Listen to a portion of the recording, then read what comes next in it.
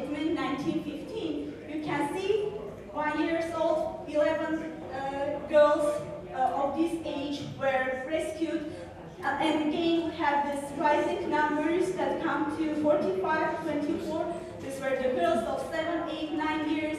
And then again, we have this decreasing number. And as the age goes uh, up, these uh, figures go down. So 59, only one woman was rescued. I assume that only young children, young girls were of interest of Kurds and Arabs and Turks. That's why the survival uh, age rate was in this range.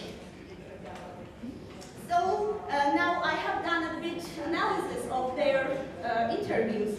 And what is very interesting, every interview started with the same idea. The first one was the first stage of the Armenian genocide, the extermination of the male population. And a lot of interviews start with start with this sentences. Her father or husband was a soldier in the Turkish army when the deportation started, or was imprisoned and later killed. A very interesting passage I have put it here. In 1950s, her husband was taken to the Turkish army and attached to a road building battalion. Once all the Armenian soldiers were separated, and when they went out to build roads, they were shot, shot from behind by their Turkish comrades. Again, concerning the Armenians conscripted to the Ottoman army and about the division of the female and male population of the Armenians, uh, that men were separated from the caravan chained together and taken away, and all of them were shot. And we have also some passages about these intellectuals.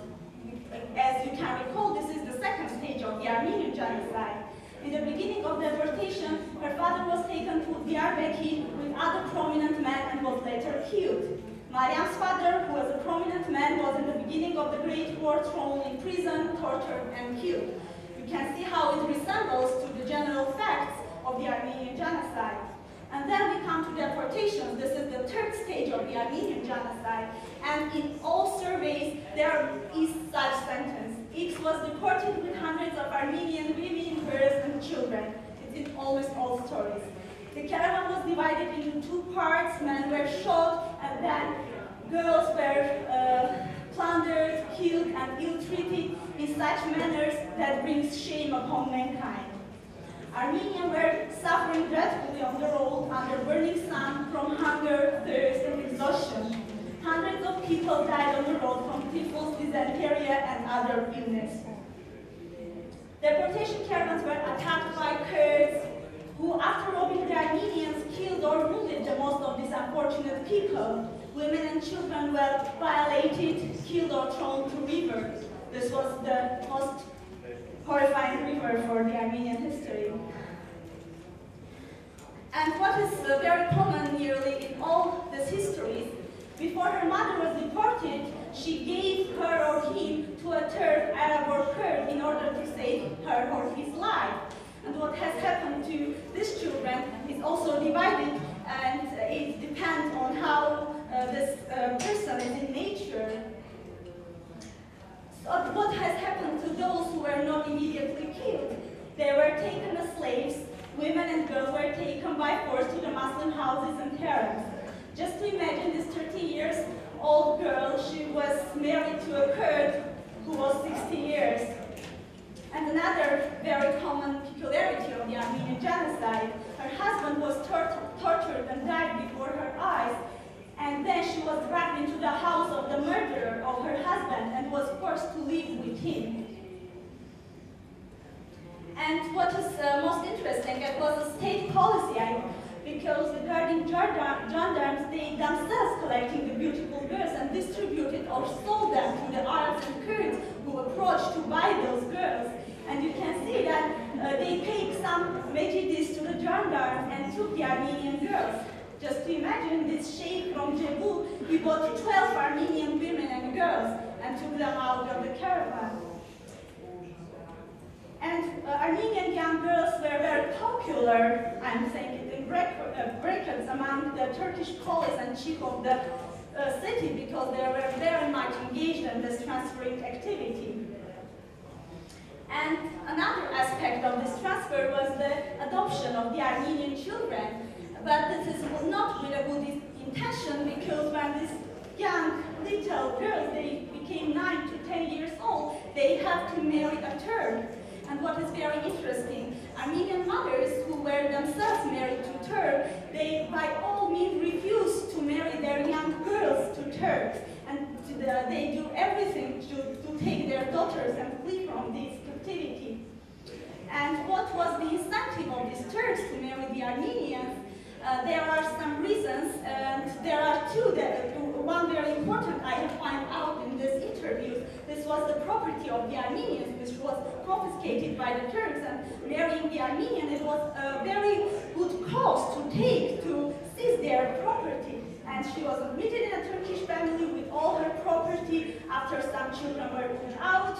And this their houses and property had been taken by Turks, and the poor women were forced to marry them. And this way they legalized the seizure of the Armenian property. And what is another state policy, which was seen among these interviews, this was taking the Armenian children to the state-run orphanages. And even when the master of the Armenian child died, Turkish government came and took this child and put it in the Turkish uh, state-run orphanages. But there are also good Turks, and there are some stories in my interviews, and you can see here some examples that Turks kept her children as their own, and uh, this, uh, this one case, the Turk took her to his home and treated her so well that she, she was not at all disposed to flee. We should also accept this fact.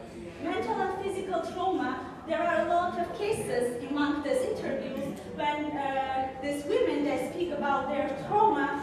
Uh, when she heard that her family had perished, a lot of people became, uh, uh they got some uh, mental problems, and also from ill treatment, they, their mind became unsettled, and a lot of Armenian girls, when they were rescued, they have different um, different illnesses, tuberculosis were, was very widespread, and the League of Nations commissioners also took care to uh, heal them. Uh, what is very interesting and what was Lena uh, was speaking of uh, uh, tomorrow, it was a huge desire and uh, huge cleverness, I don't know how to say it, of the Armenian nation and their will to rebuild their nation. And you can see here, there, there were a lot of marriages among the inmates.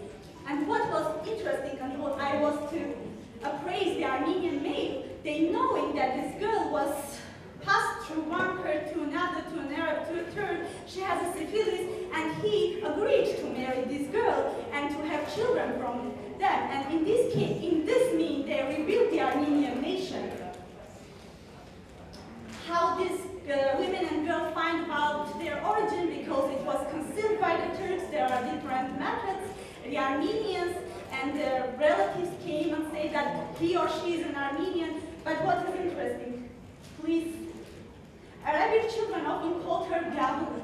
One day she asked why, and they told her that she is an Armenian. Gabur in Turkish it means not be dead. This is the name they are giving to Armenians. And another story, she was she stayed among the Turks, and one day she was forced to marry a son of his master, and she said, I don't understand why you are marrying me to my brother. And his master told that you are, this is not your brother, you are an Armenian, I have took you from the. Uh, and uh, what's happened after? There are some cases when the Armenian women, they decided to go back to their Muslim husband because can you imagine they had three or four children from their husband and so they have for the second time leave their children and come back to the Armenian community. But there are uh, not very much in many cases. Uh, generally, the Armenian women, they left their children, the new children from the, they were born from the rape and came back to the Armenian reality. And there were uh, women who come with children, and you can see here numbers. I'm sorry. 66 Armenian children they, that came with this rescue, and 32 Muslim children. And what has happened with these Muslim children? They were given Armenian names, and they were baptized by the church, and they became Armenian. But there were cases when their fathers came and paid back them back. And here are the numbers how many Turks, Arabs, Kurds, Chechens, and Islamized Armenians uh, forcibly transferred the Armenians. You can see that the Turks are on the first and then came Arabs. But please keep in mind that this is because we are speaking about Syrian territory. There are a lot of Arabs there, so you can understand this high figure of Arabs taking the Armenians here. And what has happened after? These are uh, the, those people find their relatives, become self-supporting, marry these orphanages, so they try to somehow uh, build life for all these rescuers. Here are some personal stories which I have no time to read. With very, and here are the picture of the Armenians. You can see these tattoos on their faces. These are the ownership marks. Oh, that's all. Thank you for your attention.